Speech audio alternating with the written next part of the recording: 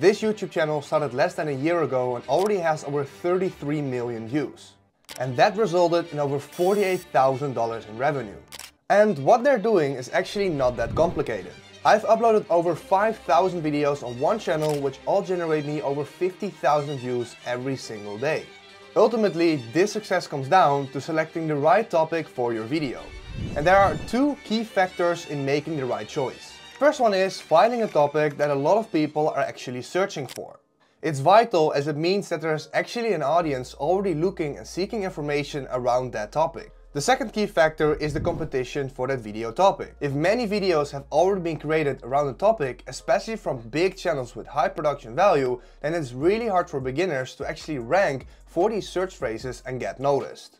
But how do you actually find a good topic with a lot of search volume and not that much competition on the other hand? I'm about to guide you through my foolproof methods for discovering topics that people are actively searching for and demonstrate how to predict whether your video will rank at the top of search results to stop wasting your time. These techniques are exactly what I did to scale just one channel to over $5,000 every single month in revenue. Now, you can rank high in the search algorithm, but if it's a keyword that no one actually searches for, you just wasted your time and no one one will actually watch your video.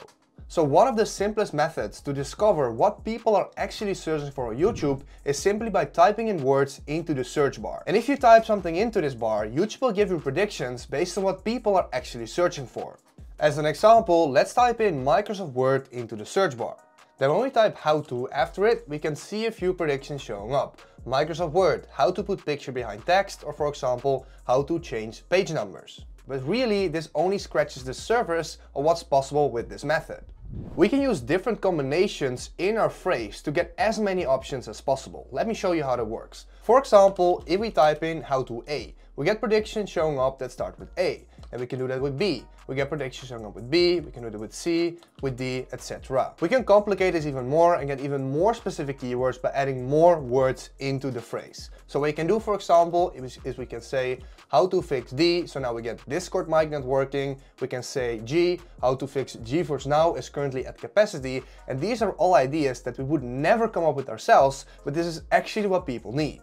Another trick you can use is the underscore method, and this is what you can use if you want to make a lot of videos about just one app or software.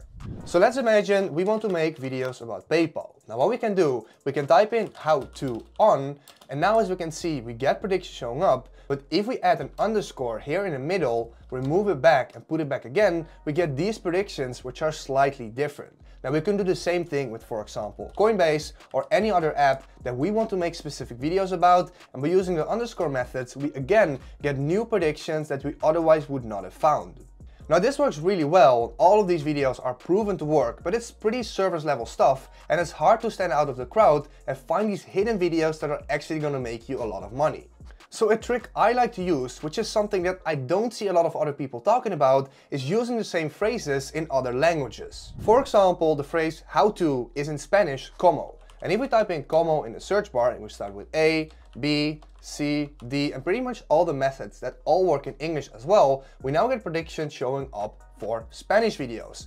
And because Spanish is a way less competitive market than English, all of these videos are easy to rank if you start as a beginner. But a common problem that many beginners face is that their own minds hold them back. And that's because your brain tends to stick with familiar topics and concepts. You can only make videos about your initial idea, such as how-to videos on PayPal and Instagram. As well as this, there are thousands of people having the exact same ideas as you, which increases the competition makes it even harder to stand out. So to actually stand out of the crowd, I like to use a tool called data.ai, which discovers new trending topics and apps which aren't that well covered on YouTube yet. If we head to the top of the data.ai website, you can see the top chart drop down. Now I'm gonna go to downloads, which will let me see the apps with the most downloads recently. Now let's make sure the filters are set correctly for us to get the best results on YouTube.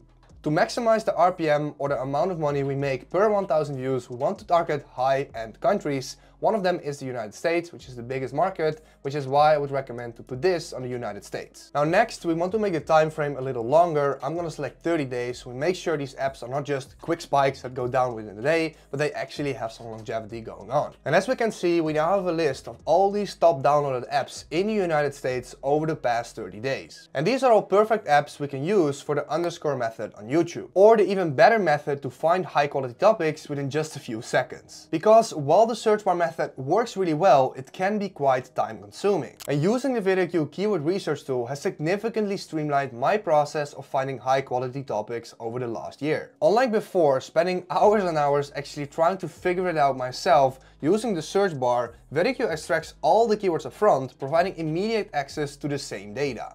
On VidIQ, you want to go to keywords right here, and this is where we can start typing in our initial keyword idea, and I'll leave a link for VidIQ in the description down below as well. For example, let's say I want to make tutorial videos about Instagram. Then I can simply type in Instagram how to in the keyword tool and hit enter.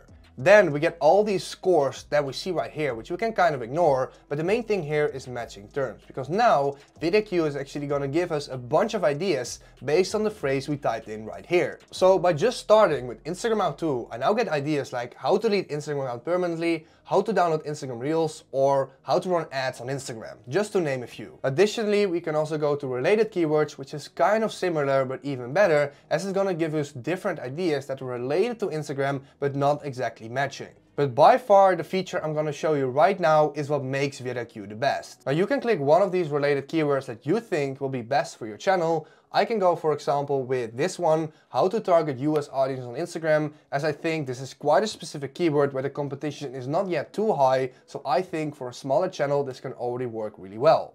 Now, when we click this, VidIQ is gonna give me more predictions which are even more specific. And from here, again, we can go to matching terms or related keywords, which will give me predictions that are even more specific with less competition. Now, this is why I like VidIQ so much and why I've been using it more and more over the past few weeks. But the trap many beginners fall into is that they think they have a great idea they make all the videos and actually none of the videos rank and I get zero results. So I'm gonna show you my foolproof method to make sure that all the videos you upload actually rank high in the search predictions. Now when I do keyword research, I add all the topics with potential to a special list. And one of the topics is how to autoplay piano on Roblox.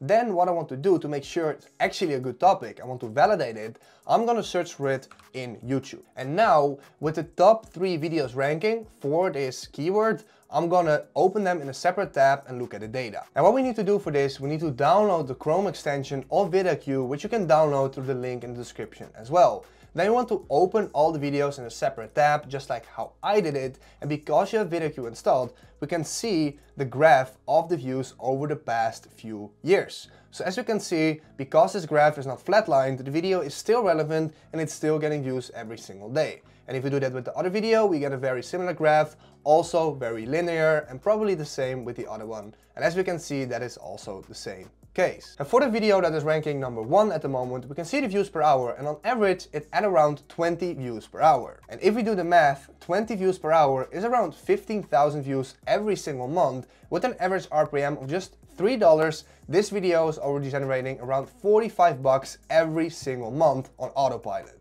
So now that we make sure that the videos are still actually getting views, this is still a relevant topic, the next thing we want to assess is the quality of the videos. Now the quality of the existing videos already is based on four different things. The thumbnail, the actual video, is it actually helpful, the length of the video and the title itself. Here I want to show an example of a phrase that is how to change currency on Cash App, but the first ranking video is how to transfer money from Cash App to Chime which actually is not matching with the keyword in the title. Which means that if we make a video about this exact title with the exact phrase in the title, the possibility of us outranking this channel is really, really high. Plus the fact that the thumbnail is actually pretty bad, so we can already make a better thumbnail, which will also improve our ranking. If after checking all these factors you can tell that the certain topic still has a lot of active search volume the competition is not that good and you think you can improve on thumbnails, video length, video quality or the title, you actually have a decent chance of making a decent video that can actually rank and make you passive income for years. I hope this video was helpful and do feel free to download and get VidIQ through the link in the description as that is what makes these videos possible. Besides that, if you want my personal help or a full free guide of how to start and find these keywords and build your own search channel, check out the link in the description to my free training where I explain exactly how this works. And if you have any other questions, you can also reach me on Instagram. Also, the link will be in the description. With that being said, have an amazing rest of your day.